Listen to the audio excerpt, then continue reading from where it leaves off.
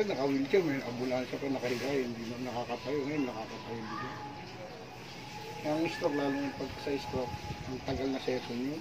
Ah. Eh yun, isang session lang, basta sundin nyo lang yung sinasabi ko. Ngayon, ganyan, ganyan. Sundin nyo mga tinuro ko. Tanggalin nyo muna yung mga tinuro sa inyong therapy. Yan ang tama. Ngayon, may mga ano, na-relieve niya yung mga sakit. May matitira at may matitira ah, kasi nasa loob yan yung namamatira. Diba? Hindi naman tayo magikero para mahula ka agad yun. Kung magikero, gano'n, oh, oh, hindi ka nakita gagawin, gagawin. Na, hindi naman hibala walang hibala. Dahil pupunta rito, tiga Bako, tiga Gaso. Pati yung sa may, ano ba yun? Bayang Luma. Sa lokal ng address po kami. Oo nga po. Yung mga pupunta rito, na dun sa Aga, sa Bako, sa Talaba.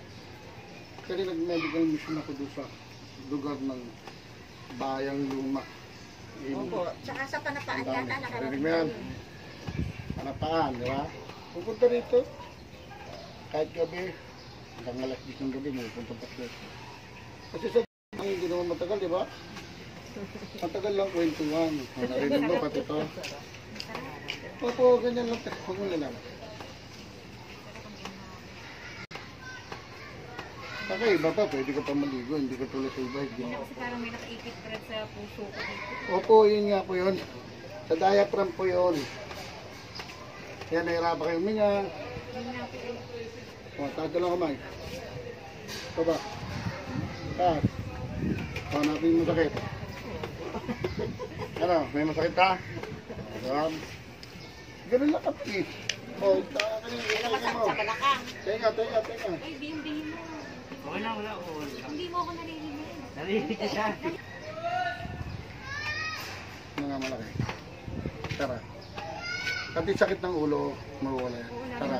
lagi, masakit ulo niya. Oh, Nga nga. Kasi maniwalang lamig. Palang lamig. Tara. masakit ulo niya. Nga nga. Tara. Nga nga. Tara. Yun. Nga nga.